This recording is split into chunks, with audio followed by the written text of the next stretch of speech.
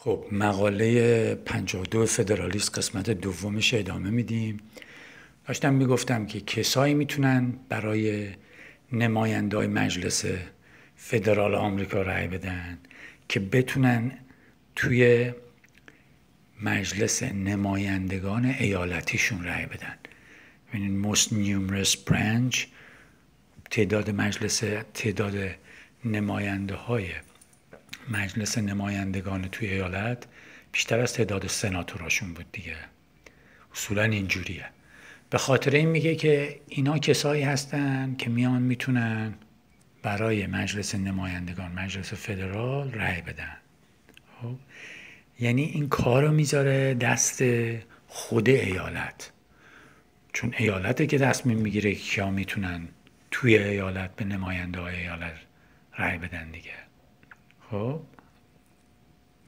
حالا من چند تا نکات نسبتا واضحی هستش کسی که تاریخ آمریکا رو خونده باشه که می‌دونه. من الان مثلا کتاب آقای لوینسون گرفتم جلویم جلوم چند تا چیز جالبیه که اگه میگم اگه تاریخ آمریکا آشنا باشید میگید اولین چیزی که میگید میگید پس این ایراد داره دیگه. چرا ایراد داره؟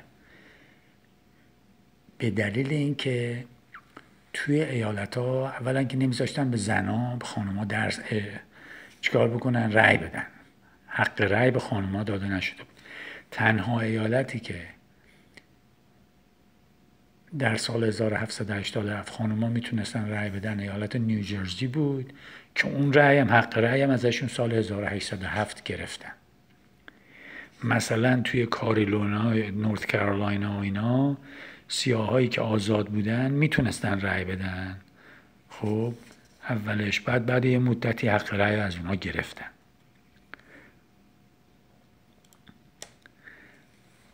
پس این مسئله پیش میاد که در اون زمان این همین مسئله اینی که خانوما نمی‌تونستن رأی بدن. تا اینکه اومدن قانون متمم قانون اساسی 19 و متمم 19 اضافه کردیم.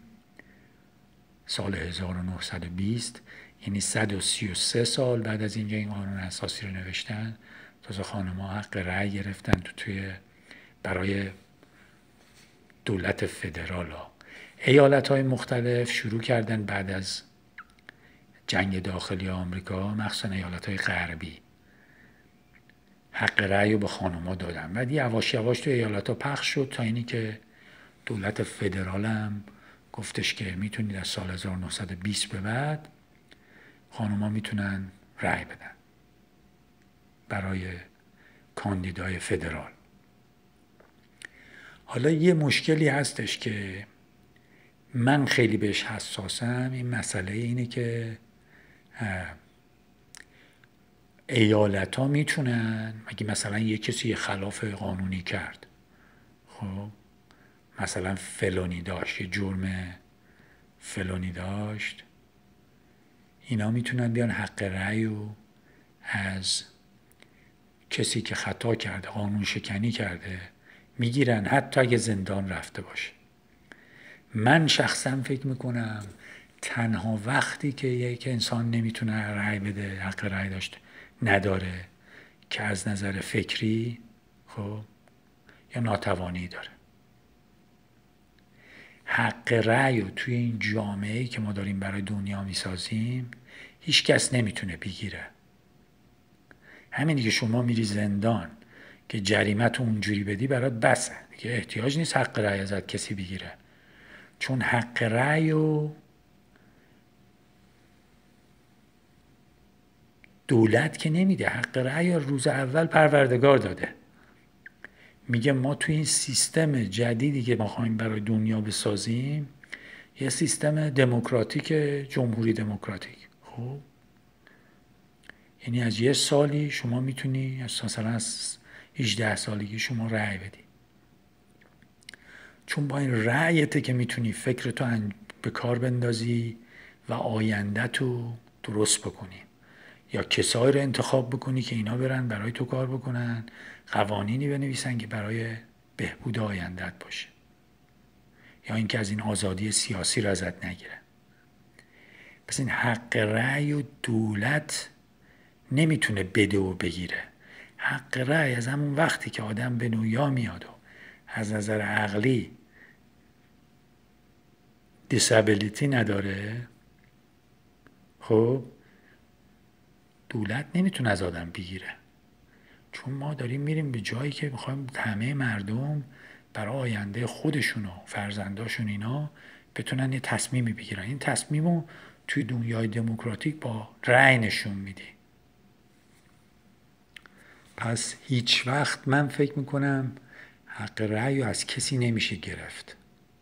خب، طرفی خطایی کرده جرمی کرده ما 20 سال می‌خوای بندازیش تو زندان.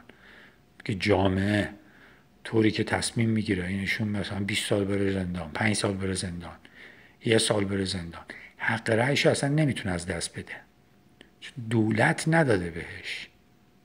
من الان می‌دونم بیشتر مردم دنیا فکر می‌کنن چیزی که دولت می‌تونه بگیره. نه این خبرانی.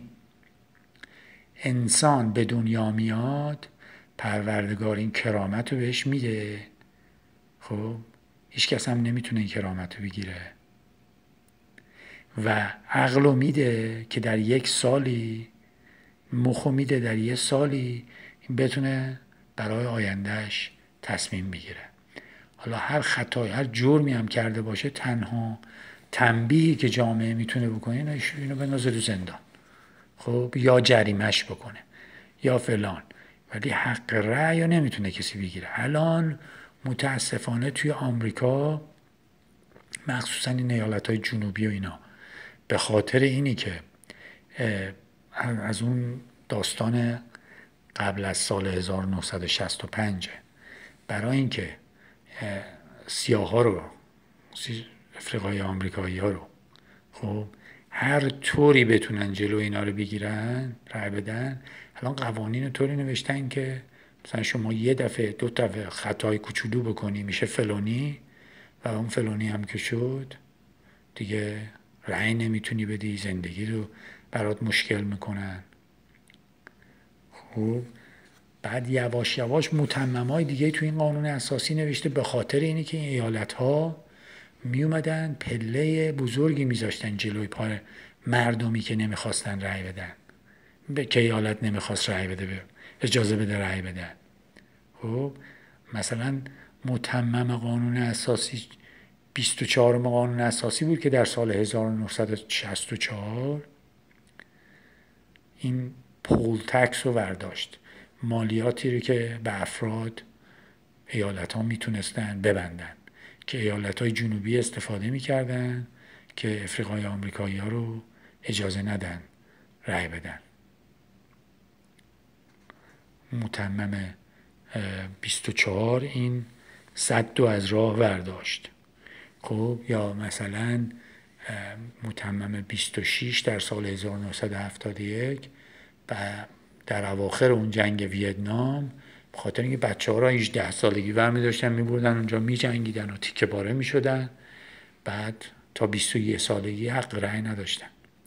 گفتن چیه؟ بس ما بریم جونم رو بدیم, بدیم. نتونیم رأی بدیم. پس اون عوض کردن. پس این خیلی مشکل بزرگیه و در آینده من فکر می‌کنم حق رأی رو از کسی نمیشه گرفت.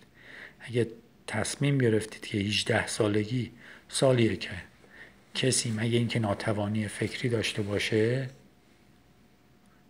کسی نتونه رأی بده بعد از تصمیم اینی که چه سالی مردم می‌تونن رأی بدن این حق رأی رو اصلا نمیشه از مردم گرفت.